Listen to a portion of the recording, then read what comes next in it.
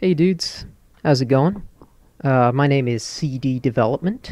Uh, I'm sure as you notice, I have a ridiculously annoying and nasally voice, so if you can actually stand that, I would really appreciate it if you subscribed, because I'm going to be using this new channel to post some of my own projects and just some content related to game development in general. But anyways, I wanted to get into it today because today's video is going to be about a new engine that I just developed. Um, if you don't know, I'm a first-person shooter developer by heart, and this engine is codenamed Shockwave. It's easily my best work so far, so I thought I'd get into it and kind of showcase it and show you how it's going so far. It's still in development, a little unfinished, so I will be releasing some videos in the future as well about just kind of improvements and updates on the engine. But uh, let's go ahead and get started and take a look at the animation improvements on this engine compared to some of the older engines. So to start, the walking animations are definitely a lot smoother and a lot more fluid. A lot of the movement animations this time are based around some math loops and also some mocap, so they're very smooth and very fluid and human-like, which I'm really happy and pleased with. The sprinting animation this time around is also another loop, so it's a lot easier to run other animations on top of sprinting. There's also been improvements to the grenade throwing animations, which uh, I definitely think was necessary. There's also full legacy support for all of my old animations, and these animations even run while you're aiming down sights or sprinting as well. It's pretty smooth, so I'm very happy with that as well. And you can also throw grenades while sprinting. And of course, there's classic mantling animations. Alright, let's talk visuals. I'm sure you saw earlier the explosion effects have been improved. Uh, the muzzle flashes are also really nice looking now, and there's even ejecting shells out the side of every weapon. Some reticle improvements are that the lenses are now made of the glass material. This makes it so the muzzle flash is a lot less distracting while you're actually aiming down sights. This also has the added benefit of adding some magnification and optical refraction to some of the lenses, which is actually really hard to achieve through Roblox, but I'm actually very happy that I was able to get that working well. Visual effects aside, let's talk some of the new mechanics that you'll see in the new engine. There is now mounting, both on left, right, and vertical walls. The camera is limited to how far you can move while mounted up, but it does lower your recoil, so there's always that added benefit. And you're also a little bit hidden behind the object you're mounting up on. There was a problem in the older engines where you could stick the barrel of your gun through walls, so we fixed that if you get too close, your character will put the gun off to the side. There's also crouching and proning, as is necessary. Now sometimes a ledge might be too far down for you to mount on, but if you just look far down enough, then it'll prompt you and you can mount up on it. You can also approach crouched and that'll make it a lot easier. And like I said earlier, the recoil is minimized while you're mounted up on something. There are now two different sprinting modes. There's a normal sprint, and there's also this double sprint modes. The animations in grenade throwing can't be done during a double sprint. It'll take you back to normal sprint if you do that. From the later versions of the engines, the hybrid and thermal sight reticles are also back in this new engine. And one of the biggest things that'll be hard to get used to is there is now bullet travel time and proper bullet drop over distance. The amount of travel time and drop changes depending on the weapon you're using and the rounds it fires. So here with a 1911, it's a little bit hard to reach those targets. With a Deagle, it's also just pretty difficult. But with an M16, since the bullets are light and the velocity is high, there's almost no drop at this range. The same can go for a 5.7, you know, it's a very light projectile, doesn't drop as much. And another interesting thing about the RPG being a two-stage projectile, you can see that while it's flying under rocket power, it's flying, you know, just fine, but the second the rocket runs out, then it starts to drop like a stone.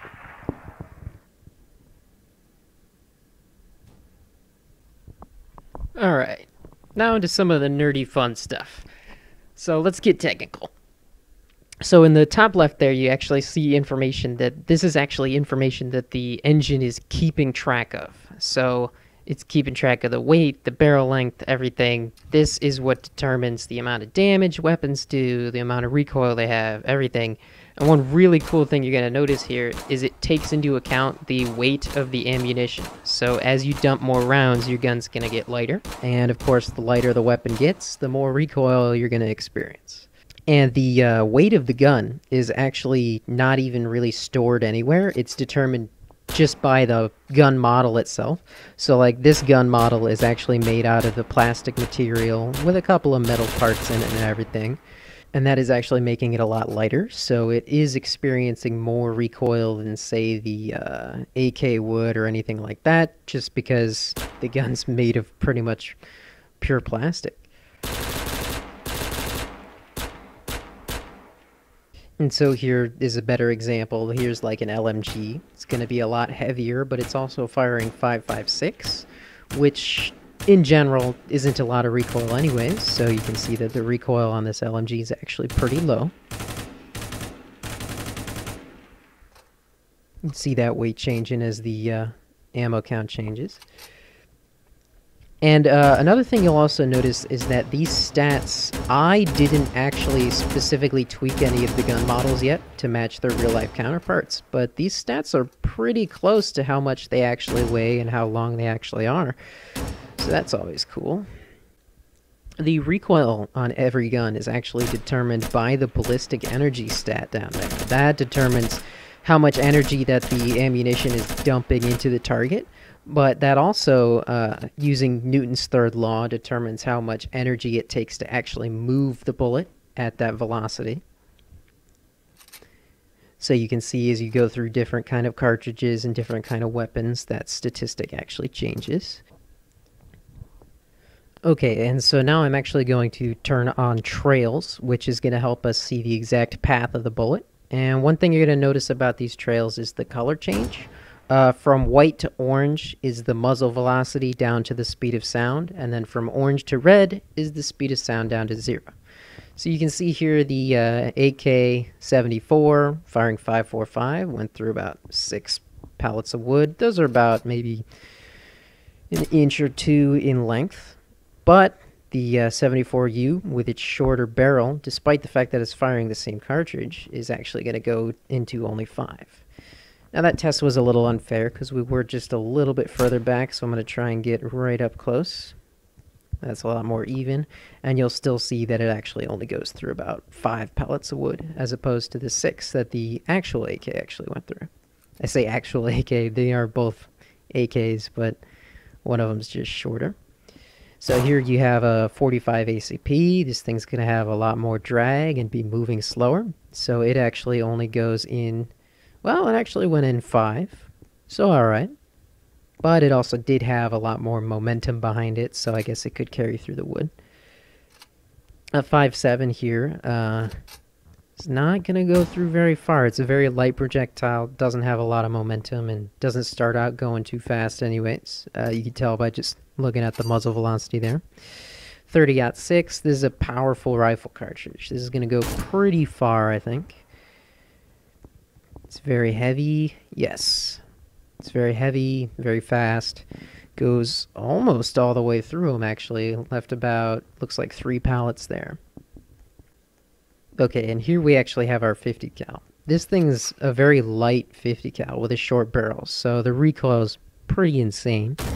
But being a 50 BMG, it uh, did actually keep on going. It slowed down quite a bit there, but it did get all the way through the wood, so that's pretty neat. And of course, if you look as it doesn't go through wood, you know, it's going to move a lot faster and drop a lot slower. Because there's not too much to slow it down except for the air. For these calculations, I did actually uh, pay attention to the realistic drag coefficients and the densities of the material. So concrete being more dense than wood, uh, you'll find that the bullet actually doesn't go through as much concrete. So there's a pretty big drastic difference there. And of course going through steel. Uh, let's go ahead and do the thin plates first. So you'll see that this is actually realistic to how it would actually work if you space them out. It's going to go through more material, but if it's all in one big block there, you'll see that it does actually stop inside the steel. Another thing to note that you can't really tell since the trails are on, but the bigger the cartridge, the bigger the bullet hole. So those 50 caliber rounds are actually leaving pretty large holes compared to this other round.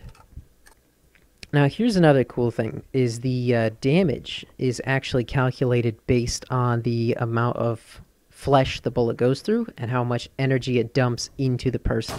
So if you shoot someone straight on, it goes straight through them, did about 30 damage. It's a 45 ACP, so okay.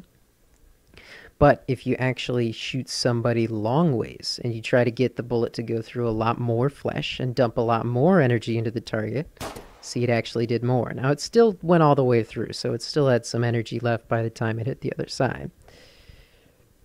But this actually means that the uh, best way to shoot somebody using this engine to do the most damage would actually be going straight through the side like this. So you see it went through their arms and their torso, and it did 53 damage there. It is only a 45 ACP, so it's not going to do too much. You know, got to make sure it's fair, being that it's a video game. But uh, that is actually how it would work realistically. And here's another side effect of that. If you shoot straight through somebody's head, 47 damage keeps on going okay. But if you try and you just try to barely graze their head here, try that. So yeah, you can see just barely grazing them, giving them a nice little nose job there. That only did 10 damage because it basically uh, basically gave them a scratch as opposed to actually hitting them. And you can also see that the, uh, despite the fact that it did only really give them a scratch, it did slow the bullet down as compared to the one that just kept straight on going. So you can see here, the, uh, the one that didn't hit the person still went a little bit farther. And of course, this mechanic works on all body parts, so including legs. If you just try to graze the leg here, oh, only did one damage because it just barely grazed him. Now this gun shoots 32 ACP, so it's not going to do too much, but you'll notice that this effect doesn't work if it stops in the torso. If it stops in the torso when you're shooting straight on, shooting the long ways through the torso isn't going to change it, because it's dumping the same amount of energy into the torso every time. It's not like it's going further through flesh, it's literally just dumping the same amount because the flesh actually stopped it. And so I mentioned earlier the same effect with the RPG, but now that we have trails on, you can actually see it a lot better. Flies along just fine till the rocket runs out, and then it drops like a rock. So you can actually see that it started out, the trail being white, meaning it was at the muzzle velocity, and going to orange, meaning it's hitting the speed of sound. And then right about here, the rocket runs out, so now it's just kind of being carried by its own momentum it's experiencing atmospheric drag and gravity and everything. So it slows down and drops a lot. And then it explodes right there. Okay, and now lastly, I wanted to touch on the slow motion variable. I included a feature in the engine that would allow the whole engine, literally all the physics calculations and everything, to go into a slow motion mode. So I can actually set this speed and how all these animations are played and everything. And this really helps us see kind of what's going on. So one thing you'll notice, of course, is that the uh, bullets are actually, the ejecting shells are physically simulated. They also make a sound depending on how big the shell was and what material it hit and everything. And another really neat thing, which was a small detail that I added. So in older FPS engines that I've made, the bolt going back and forth was literally, it was just an animation, right? So you'd shoot and then it would also play this animation of the bolt going back and forth. In this engine, the bolt actually going back and forth is what chambers around. They're directly connected. So if the bolt is back, you literally cannot fire under any circumstances whatsoever. The bolt has to return home into battery completely before the next round is fired. So, yeah, it's not like it's waiting for the fire rate, it's literally the bolt has to return home before it can fire again. Okay, so that concludes this video on the new features and different improvements you can see on the surface of this new engine. And in future videos, I'll probably go over more of the technical development aspect behind it, you know, how easy it is to add weapons and things like uh, performance improvements over older engines and all that. But um, if you're interested in that content, go ahead and leave a like and uh, go ahead and subscribe to the channel. I'll be posting more videos here in the future. And with that being said, you have a wonderful rest of your day.